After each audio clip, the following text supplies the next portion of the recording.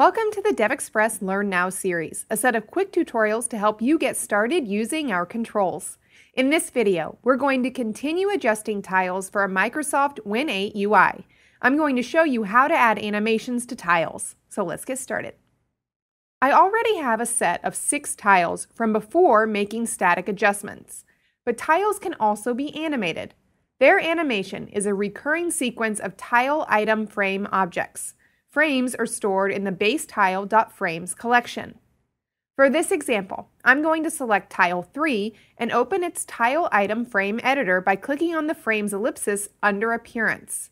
An editor appears where I can add frames. I'll add 3. Then I'll select each frame and assign it a background image.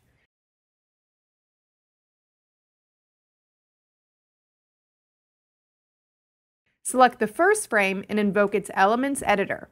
Here we can add elements to each frame. So for example, I can set the text of each tile element to reflect the name of each person. You can allow HTML text formats by setting the Allow HTML Draw property to True. Now I can select my tiles and add some HTML tags to affect my text. I can generate a bold text and insert a break for phone numbers.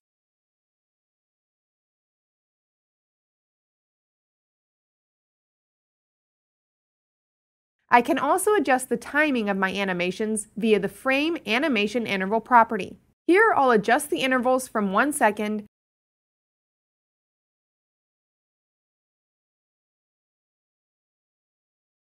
to 3 seconds.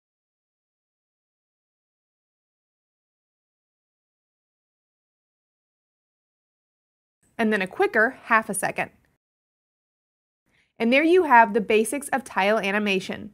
Stay tuned to learn how to create an application hierarchy. For now, thanks for watching. Let's see what develops.